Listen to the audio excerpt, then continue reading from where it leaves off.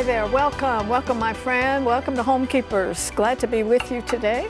It's going to be a wonderful program and I hope things are going really wonderful for you and your home and your family. And um, isn't it wonderful that no matter what we're going through as a nation that uh, Bible says, fear not, says that all the time, fear not, fear not. And I think we need to be reminded of that. So I want to remind you of it today. I have a guest who was so great on a few weeks ago. His name is Ken Williams. I asked him to stay over and talk a little bit more. So I'll show you that conversation we had. Uh, one of the greatest I've ever heard on homosexuality and the fact that the Lord can bring you out of it and give you a wonderful, wonderful, normal life. And uh, I'm anxious for you to hear that. And then uh, when I get over there with Stephanie, we'll talk a little bit about what we do in the morning because Stephanie and I, as far as I can tell, are the first people here at this office. It's a great, great big building uh, each morning, and it's sometimes it's a little before seven that we're here. And um, I've watched her make her breakfast uh, all these years, and I think I said I think it'd be a good idea if you'd show our viewers the breakfast you fix after you get here because all I do is have my tea and healthy cookies. So we'll demonstrate that for you. But before I join her, this is the greatest offer you've ever had. So perk up, okay? Listen, watch. You know the wonderful books that we offer by uh, Catherine Zoller, and it's a whole book of the Bible, and they are in rhyme and also wonderfully, beautifully illustrated we were going through the closet and said we want to kind of clean it out. And this is a one time offer only. You have to get it uh, on this program or you don't get it. Two of her books from the Old Testament, Exodus and Leviticus, it's buy one, get one free. Buy one, get one free. That includes your shipping and handling. Now, you have not heard of a bargain like this for a long, long time. We're only making it for today.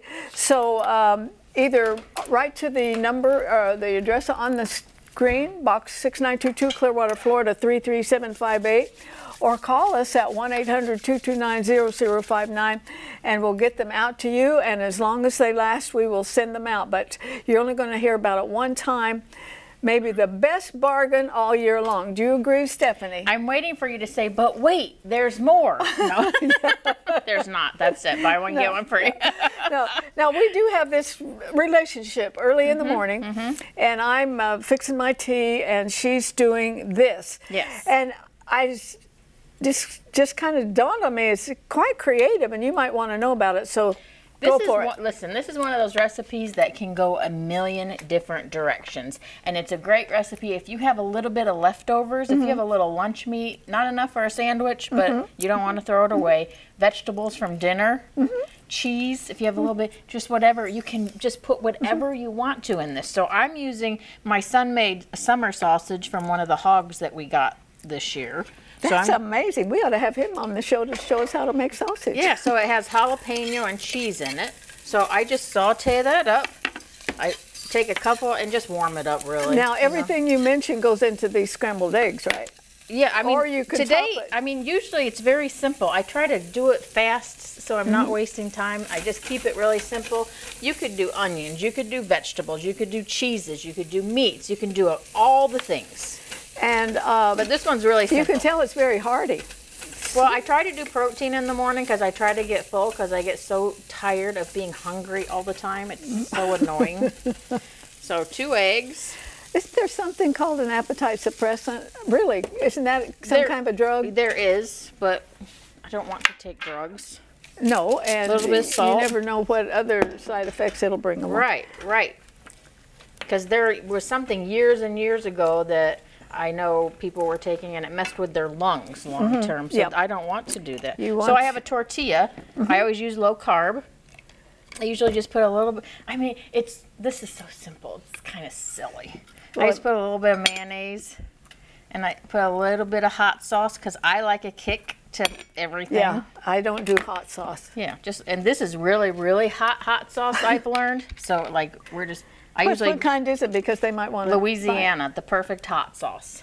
Hot. I have a feeling I won't taste this. Uh, no, uh, but I had gotten some before, and I could slather this with the hot sauce, and it was okay. I mm -hmm. slathered the first one that I did with that sauce, and I regretted it. You know, I think a lot of husbands would like this breakfast. Yes, I just wanted something a little more than um, scrambled eggs and meat, and then I just love tortillas. And so the low carb uh, is that maybe even a little better than bread? For uh, me, it is because. I need low because carbs like me, mm-hmm. they go in and they don't go away; they stay. Mm-hmm. Come to stay. So I try to go low carb. I try to do protein, mm-hmm. and then I'll put it in, and then not done yet. I'm gonna turn this up a little bit because mm-hmm. then I toast it just to add a little crunch to it. Oh, on each side. I'm not sure I ever watched you do that. Yeah, I like. A, I'm just. I'm a texture eater, mm -hmm. so I like that little bit of crunch. So a little browning on each side. Mm -hmm. I mean, it's that easy, but it's perfect for leftovers. I'm telling. I mean, that's what I I started with. I think I had some meat or something left over from a dinner, and well, I was like, I don't keep you past noon. It's... Well, and I don't. Not me. I'm always hungry. Always. It's ridiculous. My boss can sit here all day, never have a bite of food and not mention it. And from breakfast to lunch, I'm like, so hungry. I'm starving. And I'm not starving. I don't know what my problem mm-hmm, is. Mm-hmm. well, hungry. do you think counseling would help? No. I think so, will, just a little willpower. You know, actually, I probably went back to my office before you toasted it. I'm not sure I've ever seen you toast I, it, but yeah, I can I see what a difference that would make. Yeah, and I'm I don't want to sit here and bore you I guys. I think your husbands would like this process. So let's do this. And you know, just something different once in a while is yes, not it, bad. and it's just I don't know. It's just simple. Mm -hmm. It fills me up for a while. How long? It uses a lot of leftovers. Mm -hmm.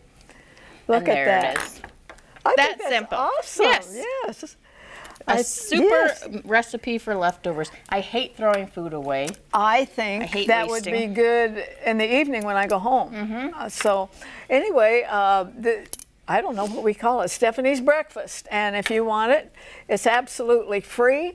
And the information is coming up on your screen, and you choose the way you would like to reserve it, uh, serve it, or Receive. Receive it. That's the word. Don't ever leave me, please. And after that, they're going to see an interview I made with Ken Williams. And um, as we sat down to talk, I asked him to just quickly kind of repeat his own personal testimony before we go on into the way you can minister to people who have the same kind of troubles and problems he did. So stay right there. If you would like a copy of today's recipe, you may receive it by contacting us through social media as listed on the screen. When requesting a copy through the mail, be sure to include a self-addressed stamped envelope. Thank you, and please know we always appreciate hearing from our viewers.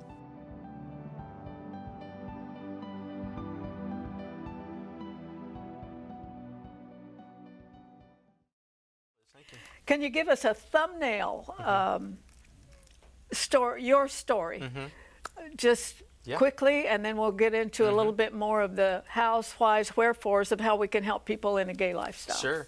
Yeah, raised in church and then discovered same-sex attraction at age 13 or 14. Was not attracted sexually to the females.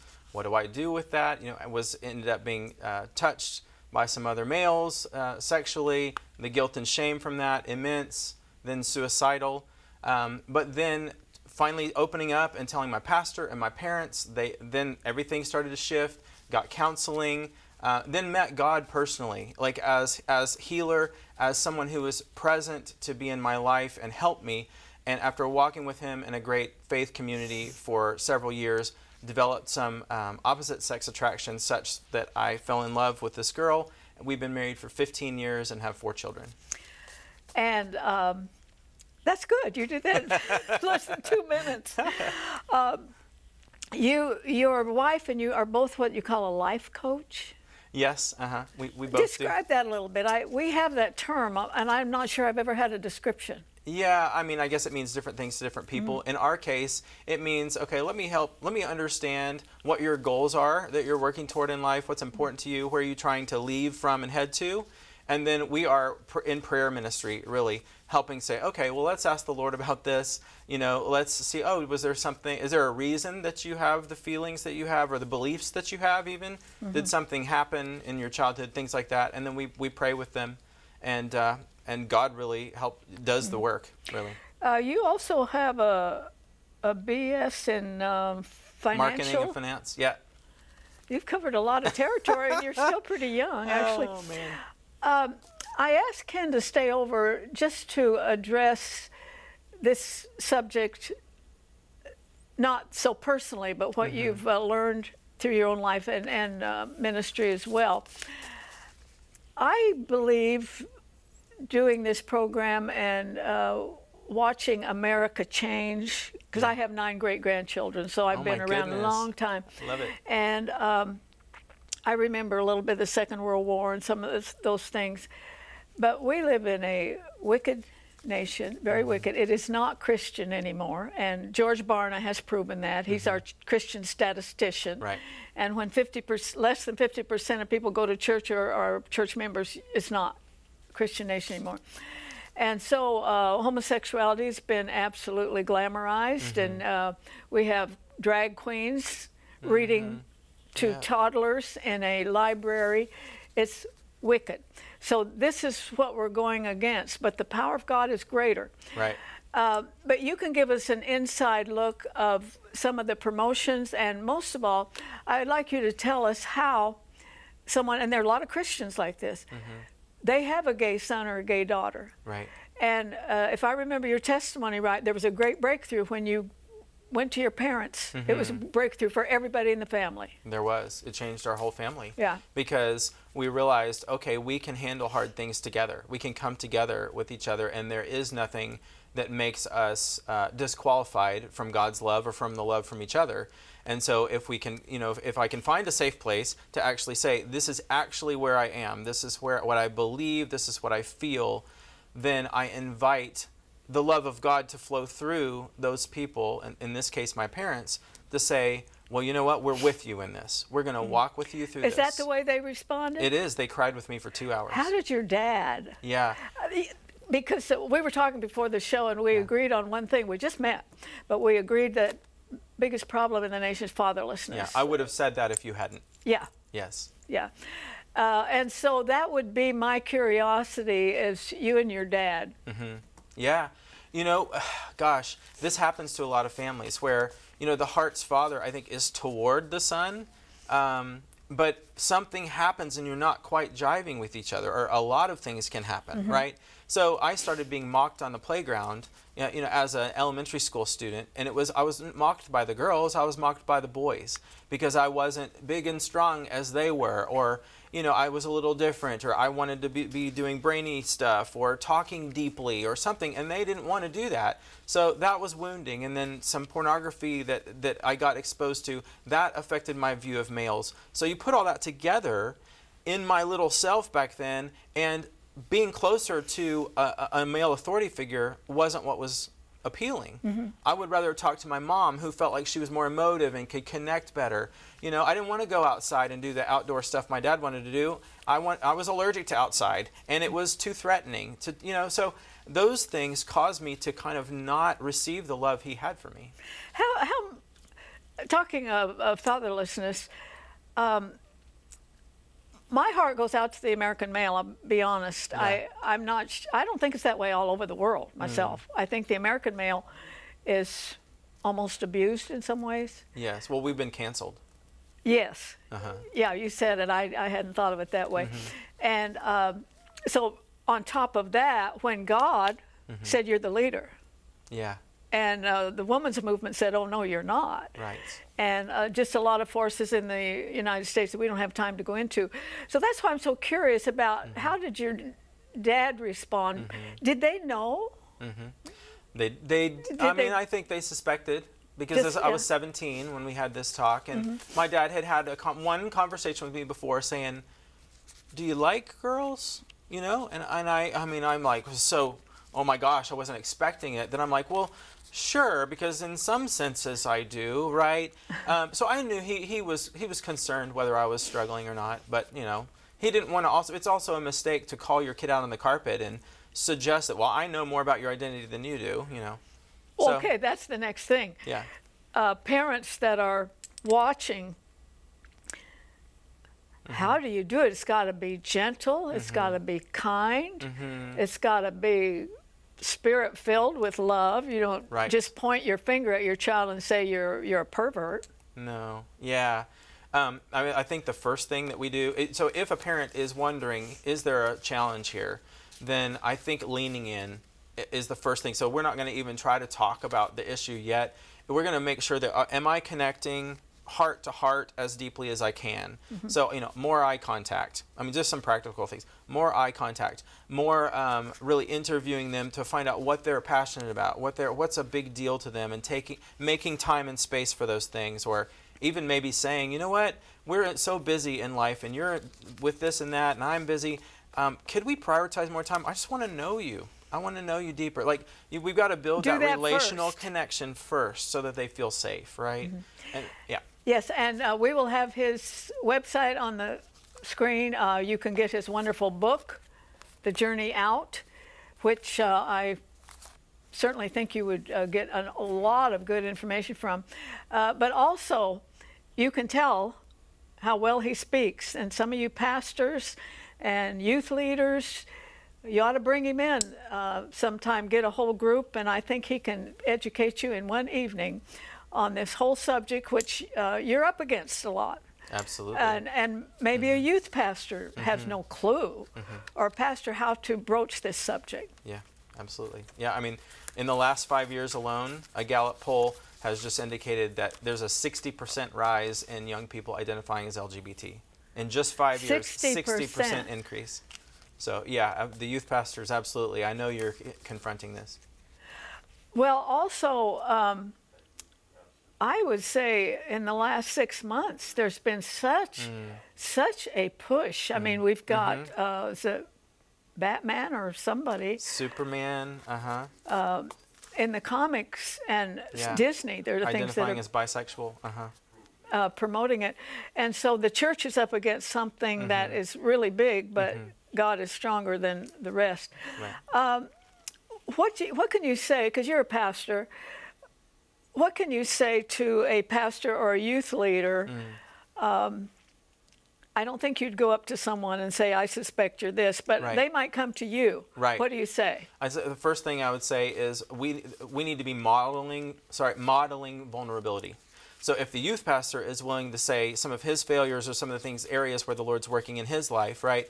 Even mm-hmm. to give examples or to bring people in mm-hmm. to give a testimony of they were, you know, they were struggling with their identity and found a way through. Those create a safe space for people to share their own pain. Mm-hmm. Um, I think we need to also, as the church, we need to be talking about identity. We need to be talking about celebrating masculinity, femininity. We need to be talking about sexuality.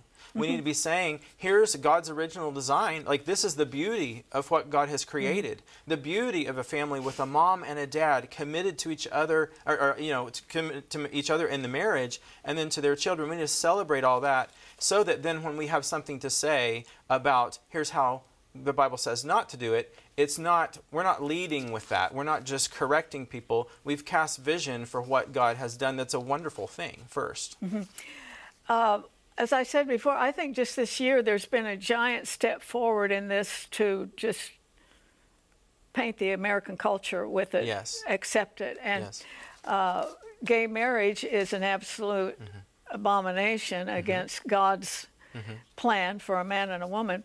And something that hurts me a lot is uh, two gay men or two gay women adopting a child. A child needs a father and a mother, mm-hmm. Mm-hmm. both. They, they need do. both. And um, but this is being celebrated mm-hmm. big time in our mm-hmm. nation.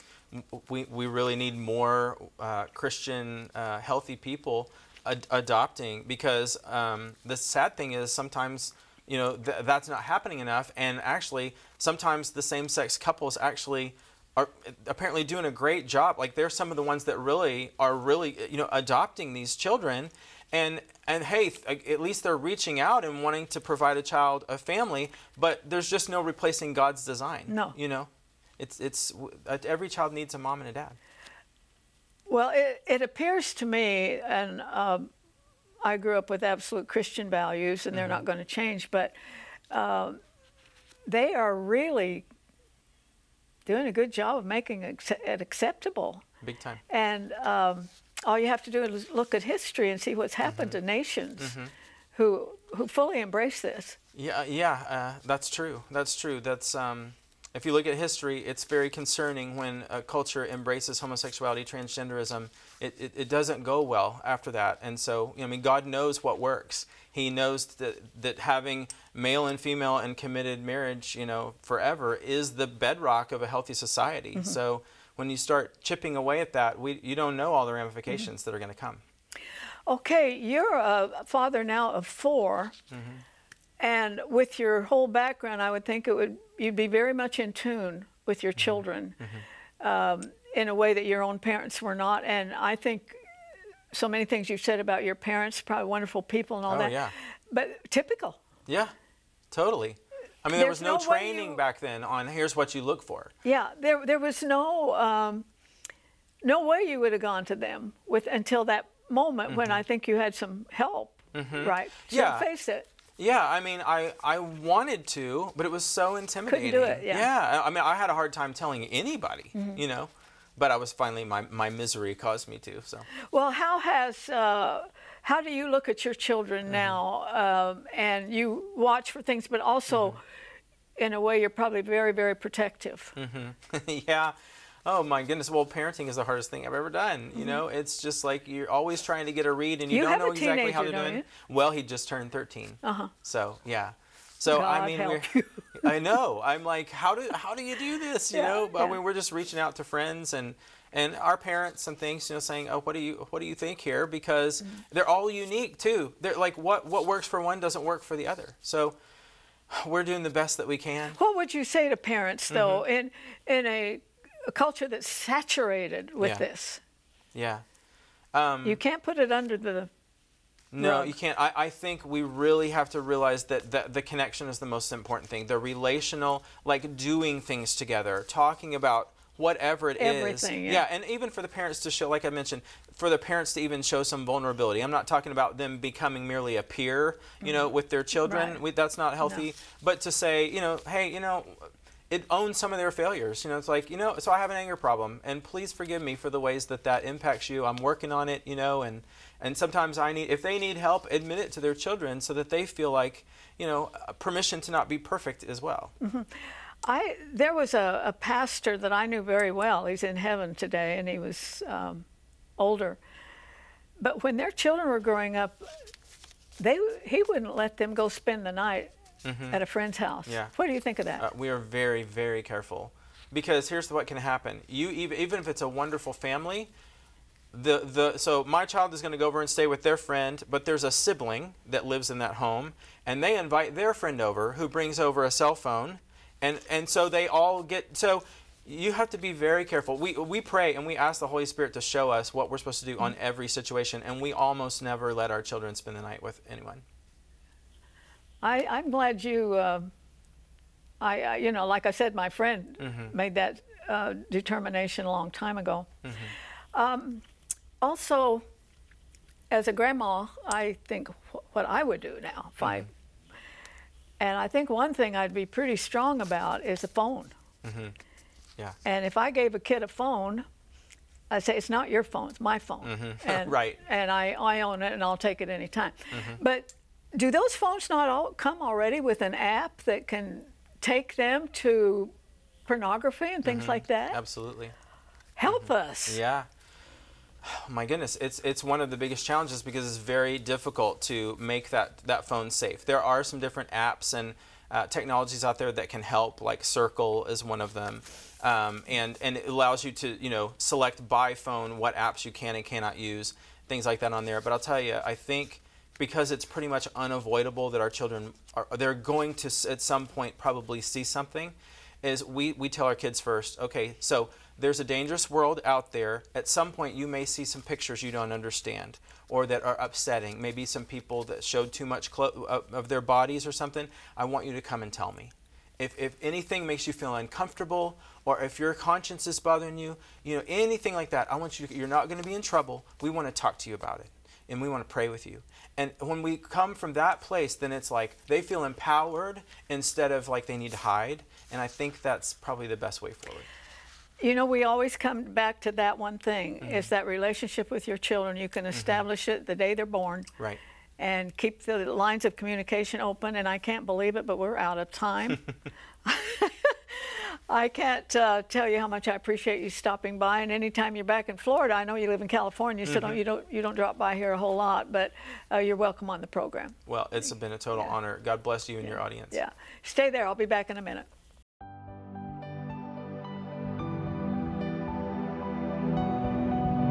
Arthelene would like you to keep the following information handy. You may contact Homekeepers by writing to Homekeepers, P.O. Box 6922, Clearwater, Florida 33758, or go to www.rippy.org. Remember, we always enjoy hearing from our viewers and we thank you for your support.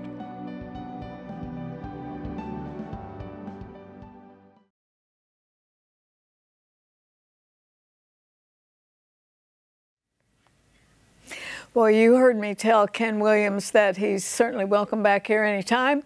And I told him the same thing off camera. I think that that's one of the best, most informative guests we've had in a long time. Young parents need to hear it, old parents need to hear it. Everybody needs to hear it and get your guard up against some of the evil that is just permeating this nation. Now, let me remind you again of this one time only deal. And if you're a regular viewer, you're very familiar with Catherine Zoller, one of the most talented, creative people I've ever met. And she is gradually uh, getting a lot of the books of the Bible for children, and they're in rhyme and they are wonderfully illustrated. And for this program, only one time, we're offering you Leviticus and Exodus. Uh, buy one, get one free. Now, where are you going to find a deal better than that? That includes your shipping and handling. And also for your children, this is going to give them an overview of the Old Testament, which sometimes is a little difficult for children to understand, but she's made it in such a way that they could understand it. So I hope that you uh, got that information 1 800 229 0059 to call. Uh, uh, with your credit card, and as I said, it'll only be offered in this program buy one, get one free for these Rhyme and Reason series. Well, what a wonderful program to start out with Stephanie's breakfast and end up with such a great interview. Thank you for being here. Thank you for joining us. And please remember to join me next time. And also the fact that there's no higher calling than that of a homekeeper. God bless you, my friend. If you should miss a Homekeepers program, you can catch up by going to www.ctnonline.com. Click on CTN Programs and then on Homekeepers.